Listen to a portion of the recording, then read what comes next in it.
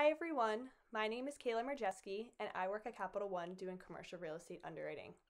At Capital One, I had the chance to live in a few different cities, including New York City and Washington, D.C., but right now I'm living at home with my family on Long Island. Just to give you a little bit of background of exactly what commercial real estate underwriting means, is it's my job to determine the risk associated with certain pieces of commercial real estate. Some examples of commercial real estate are office buildings, so this could be the skyscrapers that you pass on the city street. It could also be a retail shopping center with maybe your local grocery store, or even an apartment building that you know friends and family may live in. So, to determine the risk, we have to figure out a certain dollar amount that we would be comfortable lending to this type of property based on a bunch of different factors. So that's where spreadsheets come into play to help us out.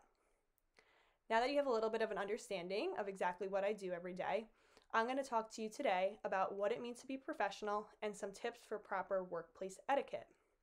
To me, there are three characteristics that I think are most important when it comes to professionalism, and those are respect, reliability, and communication.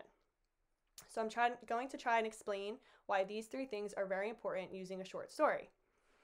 So let's imagine you're in a team meeting with a couple of colleagues and maybe your manager as well. You're discussing an important meeting that's coming up that needs to be presented to a larger audience. Your colleague suggests that the slides you put together for this presentation should just be a couple of bullet points on a slide, just words thrown on a page.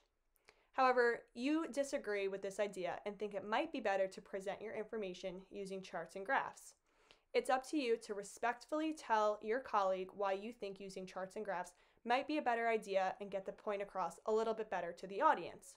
It's very important that you don't put down your colleague's ideas in a negative or a harmful, mean way. It's very important to respectfully explain to them why you think your idea might be a little bit better but you still want to always value and take into consideration their ideas. That's very important in the workplace and helps to display professionalism and respect, most importantly. The second thing that I think is most important when it comes to professionalism is reliability. Now, in this team meeting, since you came up with the idea that using charts and graphs might be the better approach, your manager puts this tasks on you and asks you to complete these charts and graphs for the presentation by the deadline.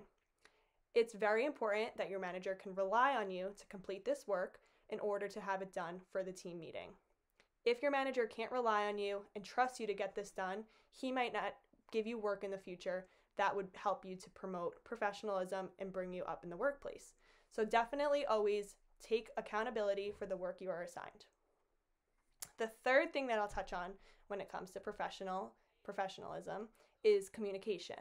So during this team meeting, as you can see, you had a very open dialogue with your manager and your colleagues. Having this open line of communication is super important in the workplace and helps to make sure the most efficient outcome is achieved.